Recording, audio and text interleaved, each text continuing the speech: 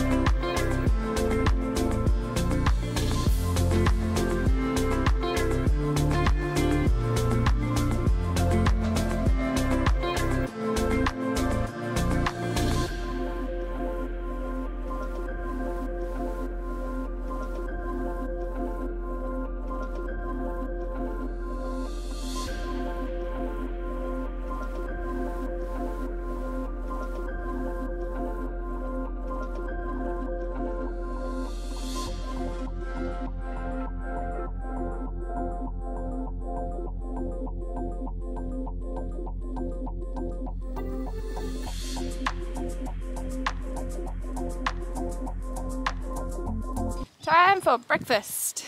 And I really need to get my fringe cut.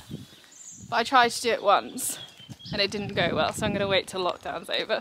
I actually haven't had a banana pancake for a very long time because I'm vlogging it reminded me of it. So I was like, oh, let's go again.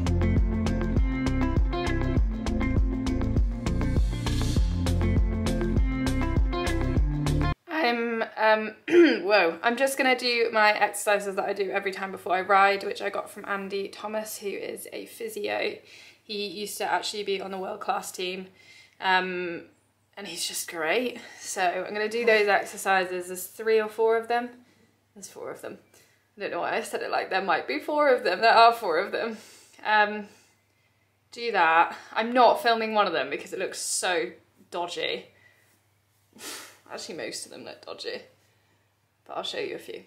I'm not sure how I'm meant to film these from these angles, but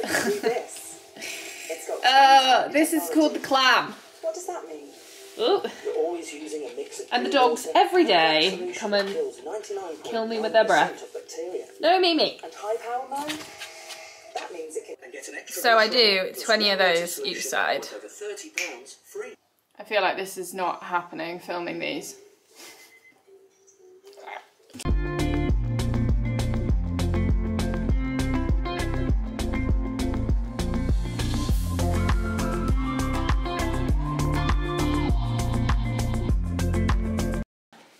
at the spurs that come with the boots. Okay, the metal bit didn't, but the actual spur straps.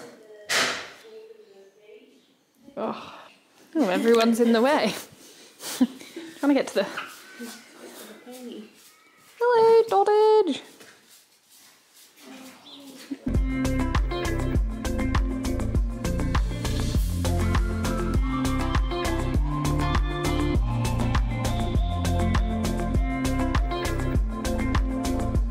Uh, so, sorry, I realised I didn't really say what was going on today.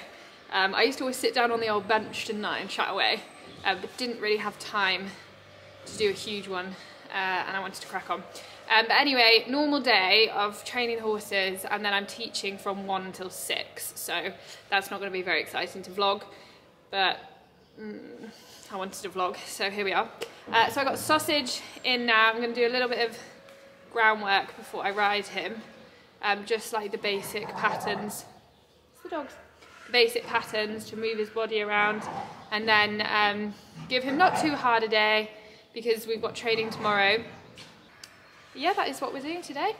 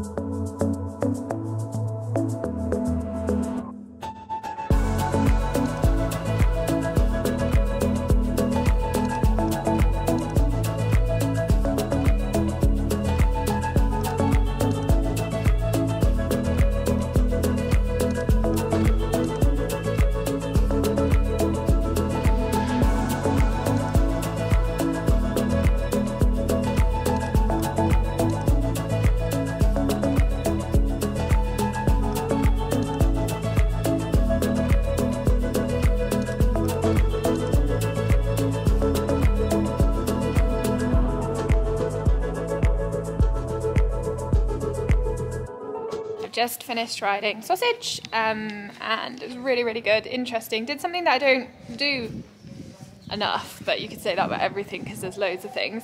And that is just working him through the um, shoulder in, travers, and half passes in canter in more of like a stretchy, like long and low. Not really, really long and low, but uh, a lower frame than you, you would for the Grand Prix because the Grand Prix is quite a up and um, it's a hard frame for them. Um, and because he's my first Grand Prix horse and I'm trying to like figure it all out, sometimes I can get stuck in keeping him in that frame. Like I stretch him to warm him up, don't get me wrong, but then I'm like, right, up in this frame. And I wanted to just check I could do all that stuff in like a lower, longer frame so that I knew I really had him on my seat and I can feel like if I'm balancing him off my reins rather than my seat. And so what I just worked on, and sorry the video is not very good, I just had to put my phone on the side, is just being able to put his body in that position in the half pass. Um, that's the bit I filmed. And like let go of my reins and he stays in that position and he stays connected on the outside um, and he stays like in balance without me holding him and then for the literally for the last two minutes I just picked him up into that frame checked that one I could get it um, and how he felt after working that and he felt really good and I didn't have him on the hand um, and he was much more like up and out rather than restricted which is what we're always going for. Um, so that was interesting. I'm kind of sad that I couldn't get it filmed properly um, but it is what it is. Even if you tried, you wouldn't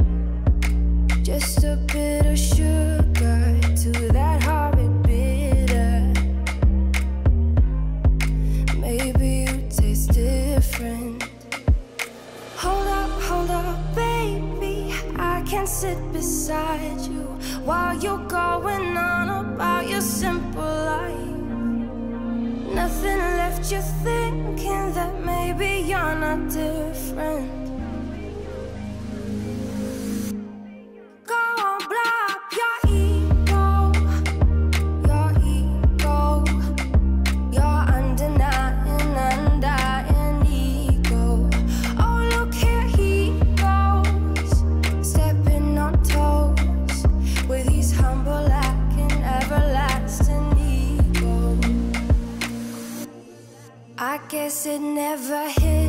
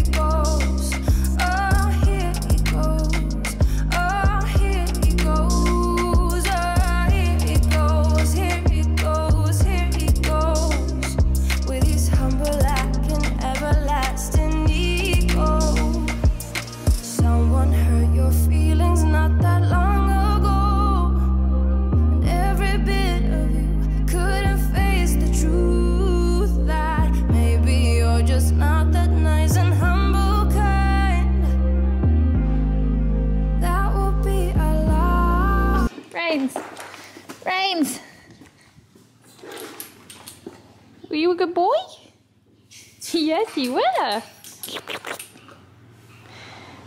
Boop.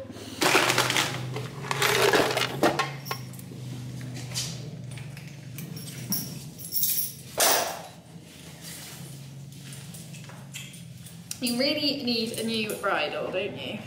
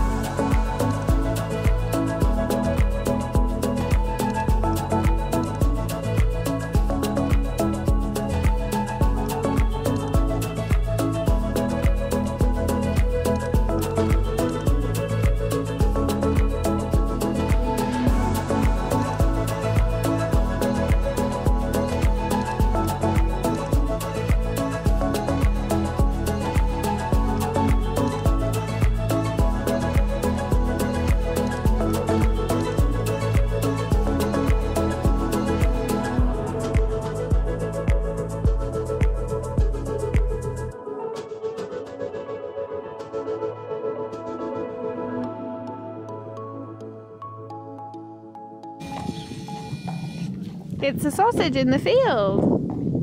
Sauce! Don't get me in, mummy.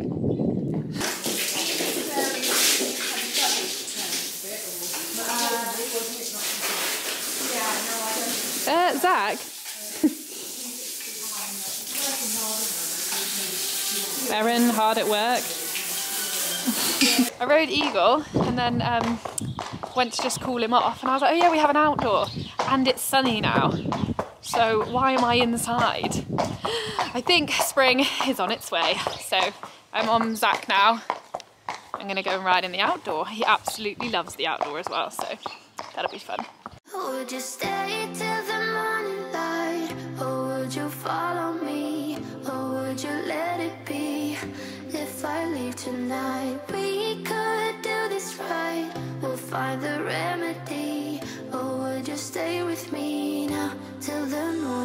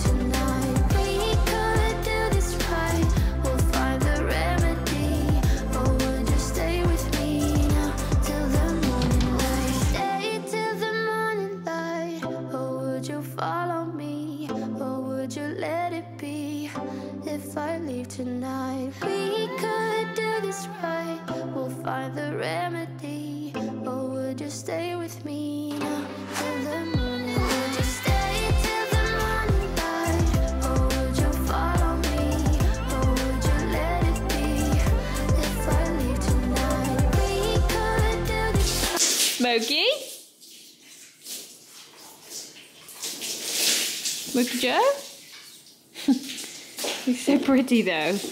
You're so pretty.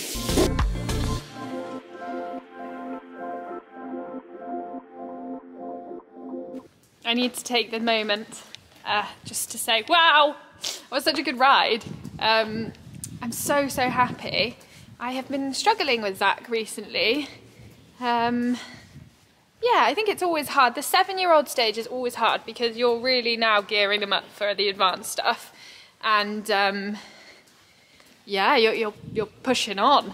And someone described it yesterday, my friend Robbie, we were doing a podcast yesterday, and he's like, oh, it's a little bit like, you know, I feel like I'm riding around on the ugly duckling, and I have to remember ugly ducklings turn into swans. And I'm like, wow, that was such a good thing to remember. Um, so that's kind of what I went in there thinking today. And also my amazing trainer, Callum Whitworth, um, I had a lesson with him on Friday and I was just like, I said to him something, I, I missed a change and I was like, I'm not very good at changes. He said, no, Olivia, it's not that you're not good at changes. He's like, the only thing you're not good at is doing enough. And I was like, ooh. And what he means by that is uh, I don't ask enough. Um, I don't ask the horses enough questions. I'm kind of like, oh, I think because I doubted myself for so long, I don't kind of like, right, we're doing this, and if it doesn't feel good, I'm like, oh, is that me? Or instead of kind of just going, no, it's fine. It's okay that it doesn't feel good. Let's just keep going. The other golden nugget that he gave me was um, he, he said, don't worry about if, if he goes downhill for a couple of strides because you're sorting something out. Don't avoid sorting that thing out because you're worried about it being downhill for a few strides. Fix it and then you can then get him back uphill and he'll feel so much better. And today what I did, you might notice he's a little bit like lower than you'd want in a test, a little bit more like a different frame. And that's at the moment where I'm working him just to get him feeling much more supple and loose. And then at the end, I don't know if um, it was filmed. But at the end, then I pick him up and he's so soft and uphill. Whereas the tricky thing with him is if you put him uphill and he's not let go, like he's a little bit resisting on the bit, he's a little bit running through the bridle, he's, he's not uh, supple left and right, then it's a very false false thing and he then basically locks his jaw and just runs off and he's against me and his body doesn't feel nice. So I've had to work really hard at getting his body better and then bringing him uphill. So it's kind of like a process. You can't just, and it's why it annoys me when people hop on on the internet and they're like, that horse should be much more like this. Yes, ideally it should, but you're looking at like a training scale, aren't you? You're looking at like a, a moment in time. Um, and that's why it's so hard to share training stuff on social media. Not even training stuff, just showing like taking a seven year old out to do a green test. People are like, oh, it's terrible. Yes, it is at this time, but that's part of learning. And nobody ever gets to like success or to the top or like it looking beautiful without that dodgy, like kind of baby stage. Uh, also, someone once said to me, um, to create a masterpiece, it sometimes gets messy. And I'm like, so true. You know, like painting? Paint goes everywhere, looks a bit dodgy halfway through. You're like, what's it even going to be? And then at the end, you're like, wow. My ramble is done now.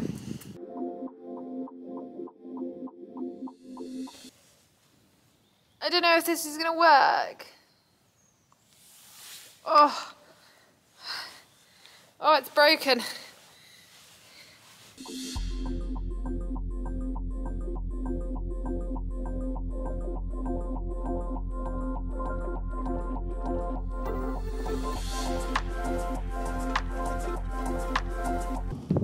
Fell off Joey. It's so standard though with Joey. It's like the norm. oh no, it's gonna be really windy. Sorry, I'll make it quick. Uh, I'm just gonna go and teach now.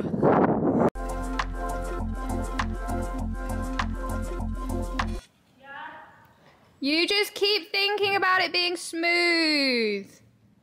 Like an experienced driver. That's two back. Go forwards, go forwards, go. Okay, you need to get the go in. Yeah, better. Good go. Yeah, that was good. Oh, much better. Just one stride. One, go. Yeah, there we go. Then you get in there before she drops you. That's it. Steady. One, go. Exactly. She's not expecting that. One, go. Yes, much better. And one, go. Now you're getting it.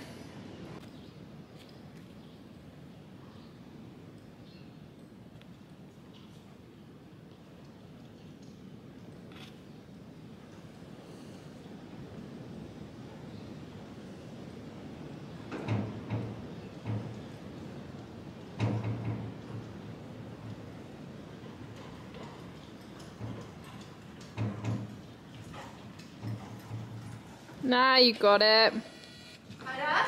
Much better. Well done.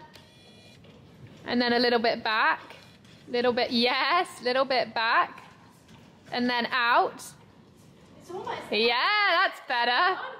Just change your rein, do some the other way. That's much better now because you can see you're adjusting it. It's all right, find it. Exactly, well ridden. She went to drop you and you got in there.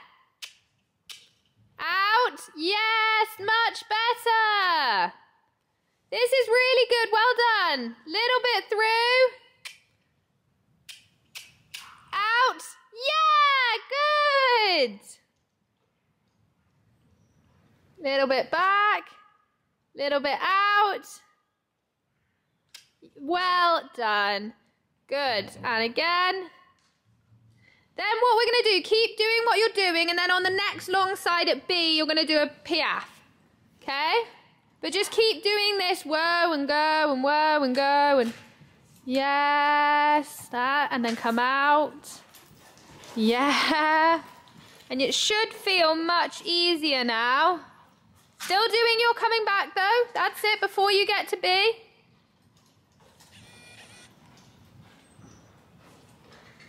Exactly. Exactly. Then come out. It's okay. Just a little loss of balance.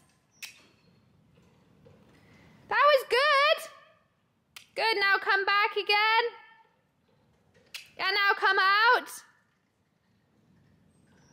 Bloody hell, she's made it.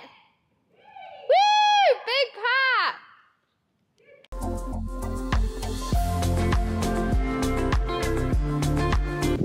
Frankie did amazing. For anyone wondering, by the way, she didn't travel in for the lesson. No one lives here, so don't worry.